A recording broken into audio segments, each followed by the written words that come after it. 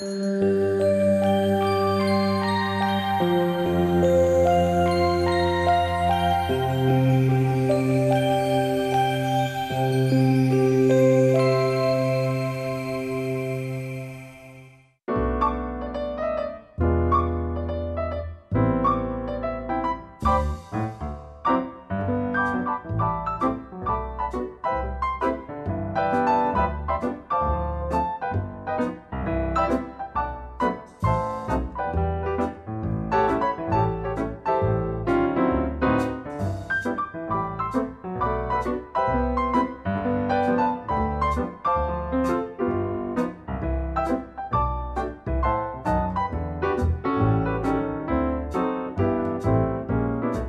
Obișnuiți cu ideea că trăim într-un oraș istoric, trecem grăbiți pe lângă monumente, stăm cu fruntea în pământ, avem mintea în telefon, e viața noastră, suntem chiar noi. Vă recunoașteți? Toți ne bucurăm de imaginea edificiilor vechi, restaurate sau ruinate după noroc și investiții. Toți utilizăm clădirile istorice, dar lăsăm în urmă istoria lor complexă – Credem că știm unde se ascunde istoria, dar nu ne punem niciodată întrebări suplimentare. Respirăm artificial un fel de mândrie locală și ne mulțumim cu superficiala cunoaștere a orașului. De aceea nu apreciem la justa valoare ce avem noi ca moștenire și patrimoniu. E omul acela cald, și bun, care îți spune o poveste, care împletește niște elemente uh, și religioase, dar și laice și este uh, E așa ca duhovnicul acela cald și bun la care vrei să te mai duci să te reîntorci. Mă bucur că ați venit cu trăsura, nu puteați să vă murdăriți pantofii până la boier acasă și v-aș invita înăuntru dacă ușa de aici n-ar fi fost condamnată ca și multe dintre ferestrele de la etaj ale ambelor fațade, fără de care casa aceasta nu mai poate face concurență conacului lui Balș, pentru că multe din ferestrele sale sunt oable, săracile. Părtaș la Iași ne învață să deschidem ochii. Părtaș la Iași înseamnă o mână de oameni entuziaști, voluntari pasionați de istoria locală, care oferă celor interesați tururi ghidate prin Iașii noștri plini de povești. Primarul de atunci uh, al Iașului, Nicu Gane, s-a dus la mitropolit și a spus biserica este în stare de colaps, trebuie uh, demolată. Și mitropolitul atunci l-a întrebat, dar uh, matale, câte biserici ai construit în mandatul tău de vrei acum să demolezi biserici medievale? N-a mai spus nimic, a dat vina pe administrația precedentă, cum suntem obișnuiți și în ziua de astăzi să se întâmple. Deci a dat vina pe Vasile Pogor că el nu a avut grijă de biserică, el n-a avut grijă de muncitori și de cum se face cum se fac lucrările la teatru. Cam aceștia suntem noi. Sperăm să aveți parte de o experiență cât mai interesantă și ne, să ne fiți alături până la final. Uh, la final, bineînțeles, pe parcurs, v-am uh, am adus și niște invitați pe lângă noi care să vă încânte cu câteva lucruri. Uh, și la final o să, dacă o să aveți plăcerea, o să vă dăm cuvântul și dumneavoastră dacă o să aveți ceva de, de spus. Din 1990, Federația Mondială a Asociațiilor Ghizilor de Turism au decis o zi internațională a ghidului de turism, 21 februarie. Ne aflăm în Casa Balș, o casă construită la începutul anilor 1800 pentru Costachi Balș Ciungu. Uh, el a făcut casa, ați văzut-o, este foarte frumoasă și are o structură foarte interesantă. Este făcută din cărămidă pe o bază din uh, piatră. Uh, are doar parter și etaj. Uh, la etajul 1 avem coloane ionice, iar bolțile pe sub care treceau caleștile au o arhitectură care uh, îmbină elementele tradiționale moldovenești cu cele în stil neoclasic, așa cum era uh, specific Europei începutului uh, secolului de 19. În Casa Balș, între 1806-1812 uh, intră personalități, uh, vreau să vă spun, este ducele de Richelieu, care uh, devine prim-ministru a lui Ludovic al XVIII-a sau generalul uh, Langeron sau Kutuzov. În toată lumea, în toate marile orașe se fac tururi ghidate, tururi tematice, tururi pietonale. E ca o bucurie împărtășită, o pasiune molipsitoare, să povestești ce știi despre orașul pe care îl iubești și pe care, iubindu-l, să-l povestești. Uh, Aurel Vlad este un sculptor român născut în 1954 la Galați, acum este decanul Facultății de uh, Arhitectură din București. E, um, a fost foarte greu să aflu informații despre această, acest bust. E total uh, atipic celor pe care noi le-am văzut. Mi-a plăcut foarte mult um, cum a, cum a gândit uh, Aurel Vlad și spune că lucrările le expun la fel ca în ziua în care le-am realizat, nu sunt finisate, șlefuite, lustruite. Opresc lucrul când sculptura se regăsește în modelul interior. Cred din necesitatea interioară că sculptura mea trebuie să fie ca mine, asprimile ei. Suprafața modelată de ciocan, popniturile, cositorul vorbesc despre bucuria mea, despre gestul mâinilor mele, despre pasiunea pe care, cu care am înconjurat-o. Carmen Silva l-a adoptat sufletește, a fost copilul de suflet al ei, i-a dedicat chiar și o carte în luncă, uh, în care au fost două personaje, Soare și Evanghelu. Este chiar menționat în 1904 uh, pe pagină pentru copilul meu de suflet, George Enescu. Carmen Silva a fost, de fapt, a doua mamă adoptivă, pentru că prima a fost uh, prințesa, uh, principesa Elena Bibescu, cea care l-a descoperit la Paris uh, când uh, Enescu studia la un an și jumătate, când deja compusese poema română și ea a fost cea care a adus partitura lui Colon, care i-a și dirijat-o. A fost adoptat de cele două mame. În fiecare vară venea la Peleș, invitat de către Regina Maria și cântau împreună, făceau un quartet cu violoncelistul Dinicu, um, Löbel, el și regina Elisabeta. Cântau, dacă regina nu cânta, ea picta sau compunea poezii. Multe din poezii au fost puse uh, pe partiturile lui George Enescu. Ghizii sunt adevărate personaje. Sunt pasionați și transmit mai departe o istorie și e clar că fără un ghid antrenat, fără un povestitor pasionat, specificitatea și valoarea locului nu pot fi de plin înțelese. În toată lumea găsești ghizi. Prin ei, de fapt, trăiește ceea ce numim, cu un cuvânt obosit deja, turismul local. Cum s-au bucurat ieșenii de cel mai recent ghidaj prin Iași, vizitând Casa Balș, unde au ascultat un concert list ad hoc în amintirea evenimentului din 1847, când marele compozitor a concertat la Iași, chiar în acest edificiu. Vorbim despre 1847, când uh, Franz Liszt, în drum spre Constantinopole, vine în Iași și uh, dă trei concerte, 5, 8, 11 ianuarie. Primele două concerte le-a dat în Casa Balș,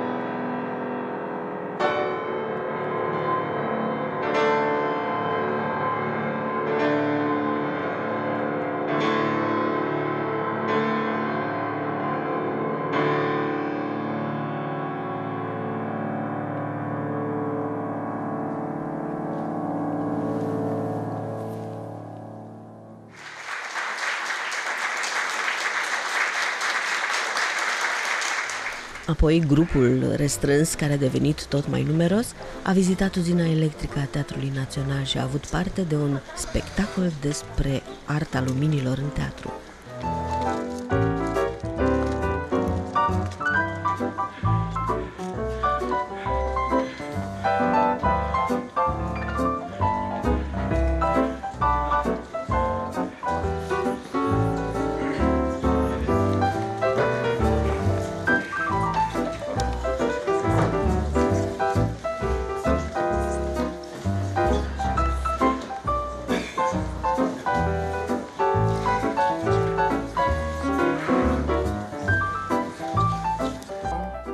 Că văd aici uh, principala sursă a luminii. Um, Haideți.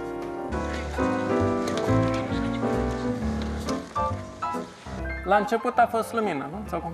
Uh, da. Uh, aș vrea să vă prezint puțin despre începuturile uh, iluminatului în uh, Iași. Uh, inițial, evident, uh, s-a făcut pe bază de lumânări. Uh, Nu era ceva reglementat, erau uh, niște uh, hotărâri ale uh, domnitorilor care obligau uh, prin secolul uh, 17-18 în, în special comercianții, să aibă câte o lumină pe, la geam pentru a lumina și strada. Alexandru Măruzia a adus foarte multe modernizări în, în Iași și una dintre modernizări a fost ca să înființeze iluminatul stradal. Acesta se făcea pe bază de fânare, așa se numeau, felinarele de fapt. Fânar vine din greacă și înseamnă exact felinar, lampă stradală. Acest cuvânt a dat și numele cartierului din, din Constantinopol, din Istanbul, Fener. La rândul lui, cartierul a dat și fanarioții. În Europa, deja la mijlocul secolului al XIX-lea, se cocheta foarte mult cu ideea de electricitate. La uh, expoziția mondială de la Paris, în 1868, uh, s-a prezentat uh, pentru prima dată electricitatea folosită în, uh, în iluminat.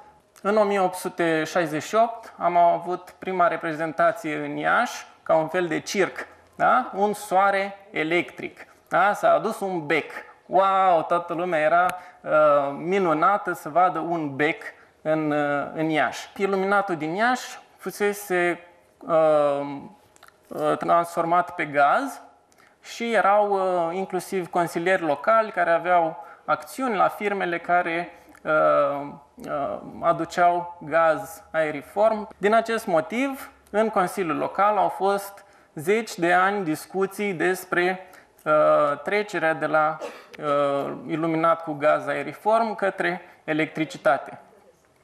Uh, evident, nu aveau niciun interes. În tot acest timp, uh, primarul Vasile Pogor tot încerca să convingă Consiliul că electricitatea este viitorul și trebuie să trecem pe electric. Motiv pentru care a fost la Viena și a luat un generator electric, l-a montat în casa lui din Copou, da? în casa Pogor de astăzi, și aceea era uh, prima clădire privată iluminată electric, casa cu ferestre luminate. Ah, interesele, acțiunile, banii, politica, atunci era ca azi? Sau viceversa? Să nu vă mirați, poveștile despre noi înșine sunt mereu repetabile. Citiți istorie și aflați. În teatru alegem ce să iluminăm și lumina, de cele mai multe ori, poate în aceeași măsură să ilustreze și poate să-și ascundă. Putem face în așa fel încât absolut orice alegere estetică, practică pe care o facem să fie mult mai ușoară. Și în aceeași măsură este mult mai complicată. Pentru că avem atâtea alegeri de făcut, veți avea parte din ce în ce mai mult de imagini splendide, de pictură cu lumină, cum, uh, cum uh, ne spun uh, frații noștri basarabeni, pentru că în cazul lor nu există designer de lumini, ci există pictor de lumini. Sună mult mai poetic? Mult mai poetic. Și da, asta facem. Pictăm cu lumină pentru dumneavoastră. Apoi, Orfanotrofionul Institutului Gregorian și a lui Anastasie Fătu, o poveste tulburătoare despre faptul că boier nu e cine are, boier e cine dă. Alecu acesta, trebuie să știți că era un om extraordinar. Bezadeaua Alecu Ghica, fiul lui Ghica Vodă. Nu era ieșean care să nu știe de Bezadea Alecu Nabucu, figură curată, tipul vechiului boier moldovan, iubitor de colțul său, de iașii săi, mândru și dezinteresat. Și deși era Bezadea a murit sărac, ca și tatăl său, fără alte venituri decât pensia sa de colonel, în sumă de 375 de lei. Era de o bunătate sufletească fără pereche și din mica sa pensie rupea o parte spre a o împărți la foștii săi servitori și alți săraci sub formă de mici pensii. El a purtat cu vitejie, cu fruntea senină, povara îngreunătoare a nobilei descendențe, cu bezadea Alecu s-a stins unul dintre puținii rămași în viață boieri moldoveni care își purteau conștiința într-o platoșă de datorie și cinste strâmtă ca și racla în care zace ființa lui pământească. Acesta este fiul ultimului domnitor dinaintea Unirii, a lui Grigore Ghica Vodă al cincilea. Grupul a fost condus apoi la Palatul Roznovanu, azi primăria municipiului Iași. Am fost apoi la complexul Paladian, edificat de G.M. Cantacuzino și Muzeul Mitropolitan, dar și Catedrala Sfânta Maria Regina, unde o voce uimitoare ne-a condus în sfere. A fost un traseu intens, într-un perimetru restrâns, oferit ieșenilor ca un cadou de ziua mondială a ghidului de turism. Așa se face că o simplă plimbare prin Iași, dacă e însoțită de un ghid pasionat, devine un fenomen înalt cultural care trece dincolo de privire, care te poartă prin istorie, prin arhitectură, prin artă și viață trăită. Palatul pe care îl vedeți uh, astăzi, de fapt cu mici modificări, pentru că nu era mansarda, mansarda a fost adăugată mai târziu, uh, a fost inaugurat în anul 1832 de 23 uh, aprilie, care este Sfântul Gheorghe, cumva, în zilele noastre. Bineînțeles, cu foarte mare fast. Are un stil neoclasic, pentru că familia Rostovanu călătorea foarte des în Berlin, Viena, Paris, al timpului al secolului XIX și în timpul respectiv clădirile aveau cam aceeași cam aceeași identitate vizuală. Și uh, cumva, de fapt, Nicolae I Rosnovanu, cu fiul său Iordache Rosnovanu, și cu fiul lui Iordache Rosnovanu, care era Nicolae al doilea Rosnovanu, au pus toți ca, ca această clădire să aibă un stil neoclasic. După cum vă spuneam, uh, mansarda a fost adăugată mai târziu din, de Vasile Pogori, care preia clădirea la un moment dat, undeva la în jurul anului 1900, când uh, cumva familia Rosnovanu a cunoscut un declin.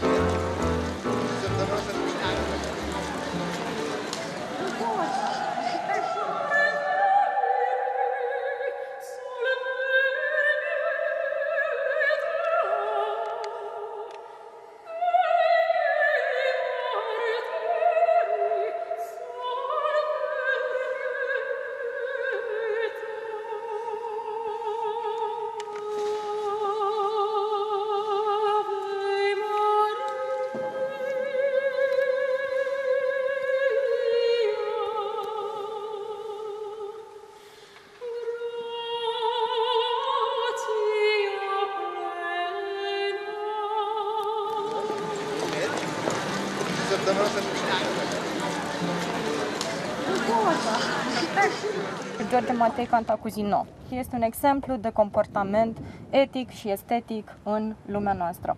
Își susține examenul de bacalaureat în București, la Liceul Sfântul Sava, după care uh, va urma uh, studiile Facultății de Beaux-Arts din Paris și avem aici exact diploma lui George Matei Cantacuzino în franceză, precum și echivalarea în limba română. În 1923 deja își înființase biroul de arhitectură împreună cu câțiva colegi arhitecți, Um, dar este important de spus că în, um, între 1931 și 1937 este de asemenea debutat în Parlamentul României. Uh, va fi profesor la Facultatea din București între 1942 și 1948, dar aici vom face încă o scurtă pauză pentru că avem fatidicul an 1946. Și am aflat și cum poți deveni ghid profesionist. Masterul de la secția Patrimoniu a Facultății de Istorie, Universitatea Alexandru Ioan Cuza din Iași, oferă posibilitatea de a deveni ghid profesionist, cu diplomă. Iar în echipa Părtaș la Iași acum, avem profesori, arhitecți, bibliotecari.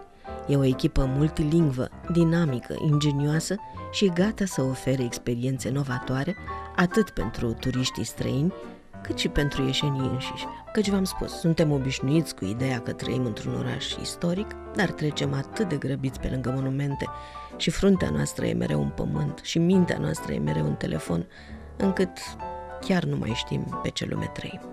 Ridicați ochii, prieteni, priviți orașul, e al vostru.